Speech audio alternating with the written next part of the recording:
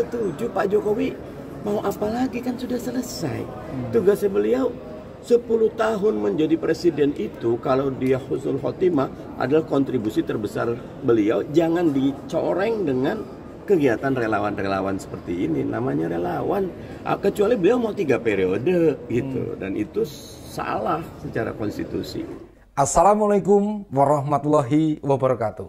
Salam seger waras Om Ben. Ternyata 8 tahun Indonesia dipimpin oleh Presiden Joko Widodo. Membuat Partai Keadilan Sejahtera ketakutan.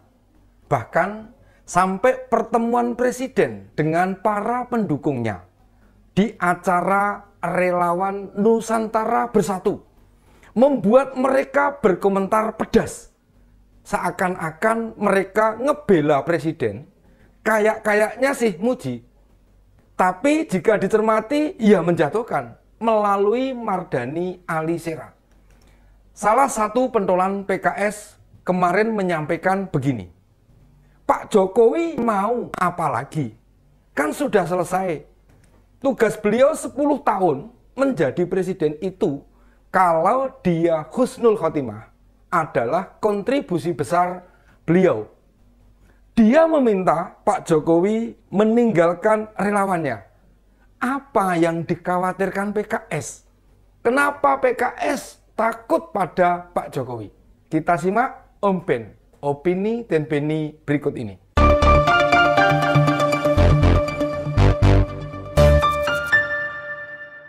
Bagi mayoritas rakyat Indonesia, Presiden Joko Widodo merupakan salah satu presiden yang memiliki jasa besar.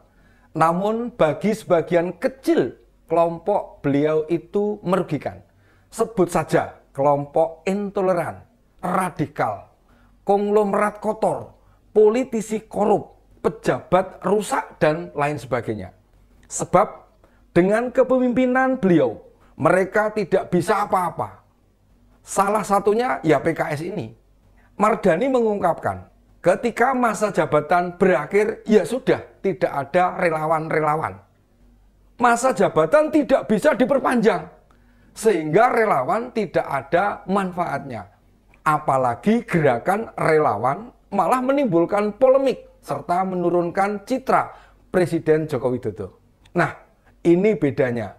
Orang yang punya basis masa pendukung real dengan tidak Perlu Pak Mardani ingat, Pak Jokowi banyak dicintai masyarakat dikarenakan kepribadiannya.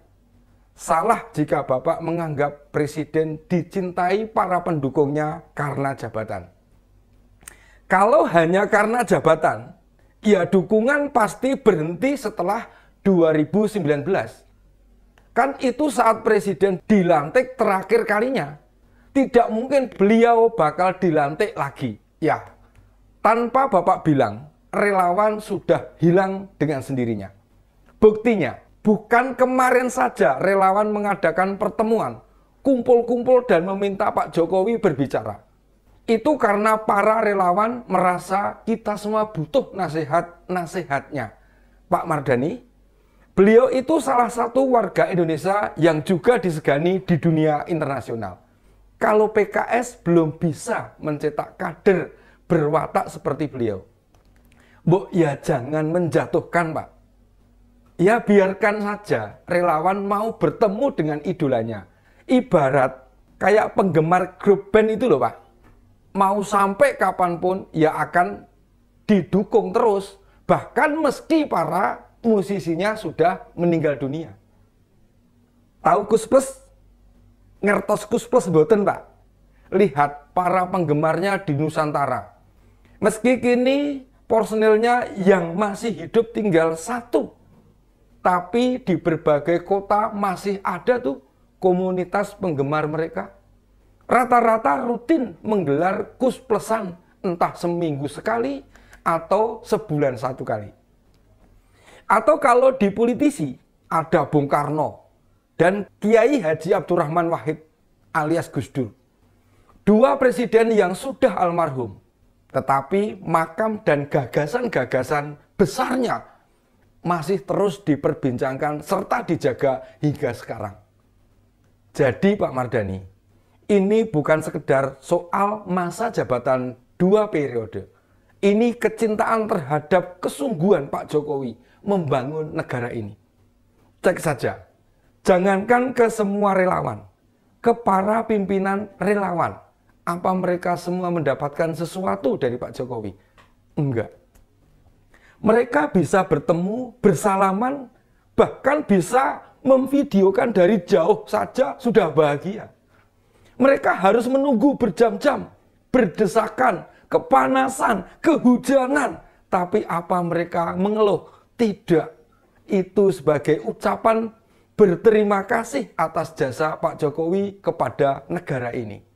Pak Mardani kok sampai khawatir nanti ada upaya mendorong jabatan tiga periode. Oh alah Pak, Pak, jenengan kan muslim yang taat. Ingat loh Pak, Suson itu tidak baik. Berbaik sangka saja. Coba sebut apa semua komunitas relawan setuju dengan tiga periode. Pak Jokowi sendiri beberapa kali dengan tegas menolak jabatan tiga periode. Ketua partai mana yang sekarang masih bicara soal tiga periode? Menteri siapa yang berani lagi menyebut tiga periode? Lah kok malah dari jenengan yang khawatir tiga periode? Takut PKS keok lagi lah. Takut PKS harus berat berada di oposisi lima tahun lagi pak. Takut PKS pecah kayak sekelompok orang inti PKS mendirikan gelora. Atau jadi ketahuan belang PKS sehingga orang-orang yang tadinya bangga didukung PKS malah menyeberang mendukung Pak Jokowi. Seperti Pak Prabowo dan Pak Sandiaga Uno. Saya tidak mengerti, gagal paham atau sulit memahami Kenapa Pak Mardani sampai menyatakan Pak Jokowi tidak ikut campur dalam pencalonan presiden? Maksudnya campur tangan itu bagaimana? Ada bukti Pak Jokowi campur tangan? Tunjukkan seperti apa? Menyebut wajah berkerut dan rambut putih itu orang yang memikirkan rakyat. Pernyataan begitu campur tangan. Oh alah Pak, Pak. Anda ini politisi apa anak TK? Kok mencampur adukkan antara pernyataan dengan kenyataan? Antara pendapat dengan niat jahat. Maksudnya Pak Jokowi disuruh diam saja, begitu. Cuma ngurus negara. Takut benar sama Pak Jokowi. Sampai-sampai Pak Mardani menyebut serahkan urusan capres ke partai politik. Pernyataan Anda itu membodohi masyarakat. Secara administratif, pasti urusan capres bakal ditangani oleh partai politik. Tapi menyatakan pendapat tentang siapa pengganti dirinya. Masa Pak Jokowi dilarang-larang? Ayolah Pak, didik PKS dan para kadernya jantan menghadapi kenyataan. Saya tidak habis mengerti kenapa sih orang-orang dari kelompok oposisi kaum intoleran, kaum yang merasa paling benar kalau berpendapat itu, sering mencampur adukkan antara kenyataan disandingkan dengan harapan yang sebenarnya tidak klop atau tidak nyambung. Dulu mereka sekolah di mana? Belajar politik dari siapa? Mendalami agama selama apa? Hidup sehari-hari budaya atau kebiasaan yang dijalani bagaimana? Dan seterusnya. Mengapa konsletnya sampai sejauh itu? Gini loh Pak, mengkritik Pak Jokowi itu silahkan. Menyampaikan kekurangan Pak Jokowi, ya monggo-monggo saja. Tidak suka kepada Pak Jokowi juga tidak dilarang. Tetapi semua itu harus dalam logika dan nalar yang benar. Loh, Pak Jokowi itu ya ada kekurangannya. Tapi dibandingkan apa yang sudah dilakukan, dikontribusikan kepada negara ini, ya jauh banget. Mau tahu salah satu kekurangan beliau, mau tahu saja atau mau tahu beneran nih.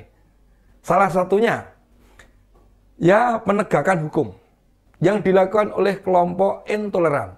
Sering mereka bebas bicara atau berbuat tanpa kena hukuman berat.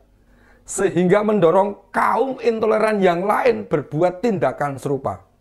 Lihat saja, itu para penghina dan pemfitnah Pak Jokowi, apa yang dihukum berat. Jangankan dihukum, kadang diproses oleh aparat hukum saja tidak. Contohnya Bambang Tri dan Sugi Nur yang menfitnah ijazah palsu Pak Jokowi. Sampai sekarang nggak tahu gimana kelanjutannya kasusnya. Memang itu bukan urusan Pak Jokowi.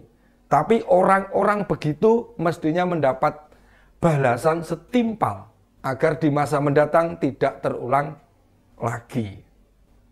Demikian dulu. Mari jauhi kebencian pada seseorang mendarah daging dalam diri kita. Agama maupun budaya Nusantara tidak mengajarkan. Di Jawa ada prinsip welas asih atau saling menyayangi. Mari tetap kita junjung tinggi. Sampai ketemu di Omben Opini Tempeni minggu depan. Assalamualaikum warahmatullahi wabarakatuh.